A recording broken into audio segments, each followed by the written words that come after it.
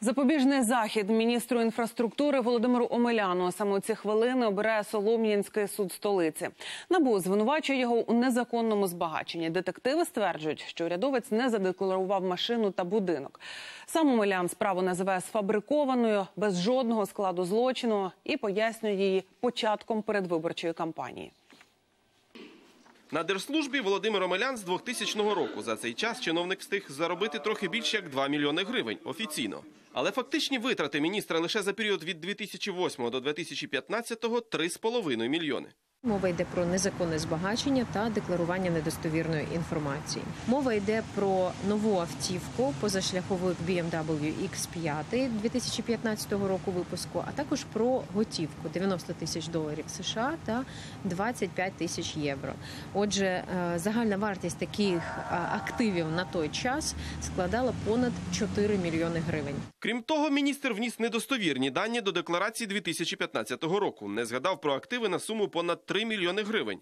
З 2016-го, за версією детективів НАБУ, приховав 8 мільйонів гривень і занизив ціну свого автомобіля в Вольво удвічі.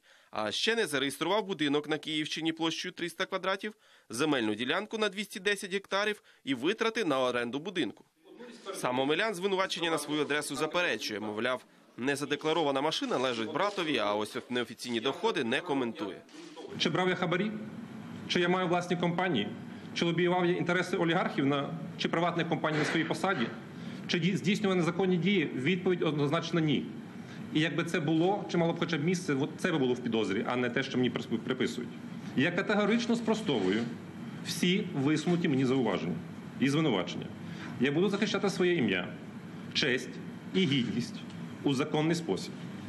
І я буду вимагати притягнення до відповідальності слідчих набу. Я хочу заявити, що на мене здійснився тиск з боку керівництва НАБУ. Якщо провину Омеляна у справі про незареєстровані доходи доведуть, йому загрожує до двох років позбавлення волі та усунення з державних посад на три роки. У Кабміні відреагували на звинувачення на адресу Омеляна. Там зазначили, що детективи понад рік розслідували справу щодо міністра і не знайшли жодного факту порушення з його боку.